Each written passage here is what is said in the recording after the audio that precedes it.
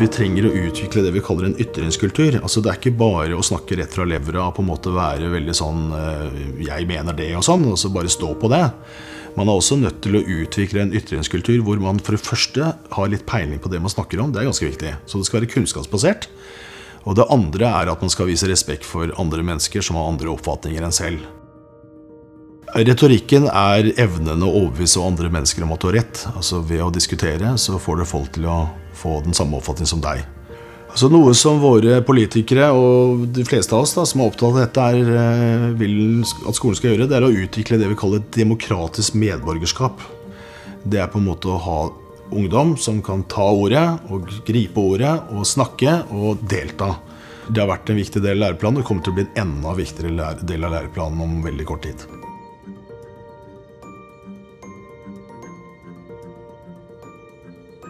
Det myndiggjør oss, det å kunne ta ord i en forsamling, det å kunne være trygg på at du kan snakke for folk, slik at du kan hevde dine synspunkter og standpunkter. Det er, sånn, det er, noe vi verdsetter i det norske samfunnet som helt nødvendig for å være et voksent, myndig menneske. altså.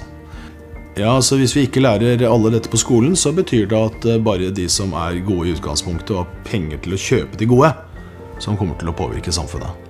Og Det ser vi veldig tydelig i USA, hvor det å kjøpe seg til god retorisk kompetanse er blitt big business, altså. Så vi tror da, som driver med dette her, at ved å lære ungene å ytre seg muntlig og skriftlig, eller ungdommen å lære seg å ytre seg muntlig og skriftlig, så vil samfunnet vårt bli et bedre samfunn. Et samfunn hvor flere deltar.